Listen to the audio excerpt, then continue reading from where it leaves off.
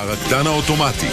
מי הוא זה שהחלים מקורונה ולא הפסיק לרקוד אמש במשך שעות בהקפות השניות?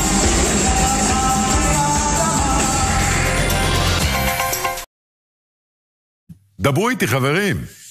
אה, טוב, אז אנחנו אה, נתחיל, אה, ואם, איך אפשר שלא להתחיל עם רקדן אוטומטי, עודד. שים לב מיד לאחד הרקדנים אולי הכי טובים שתראה בתקופה האחרונה.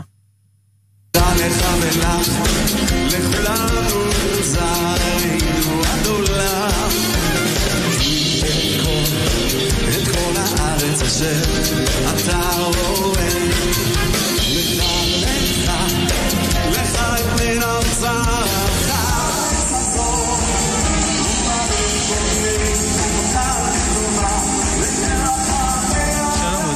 שלום אה, כל החברים של כל עם ישראל.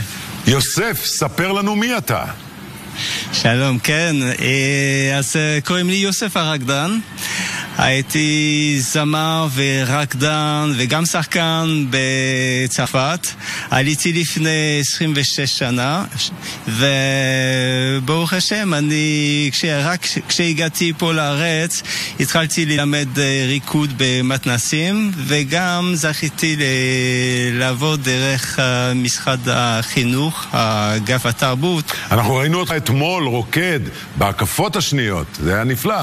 נכון, הזמינו אותי לרקוד אתמול.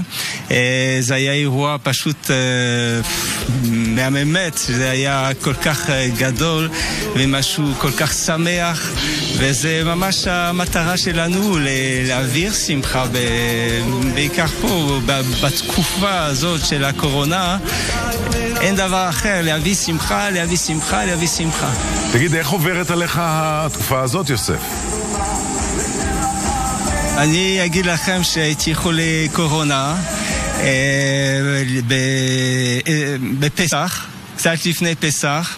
אצלנו זה היה ממש אה, תקופה ארוכה בבית, זה היה חודש וחצי שהיינו חולים. אה, אני ממש ממליץ לכולם לשים מסכה, זה, לא, זה חבל לחשוב שזה לא עוזר, שזה שטויות. אני כבר שישה חודשים אחרי אה, הקורונה, ובאמת יש עדיין היום שיריות של, של המחלה. ואחרי הקורונה, מאיפה הכוחות לרקוד כך? אני אגיד לכם, זה פשוט, זה פשוט. כשרוצים לתת ממש מכל הלב, מכל הנשמה, יש כוחות. יוסף הרקדן, תודה רבה לך. תודה, תודה, אמן.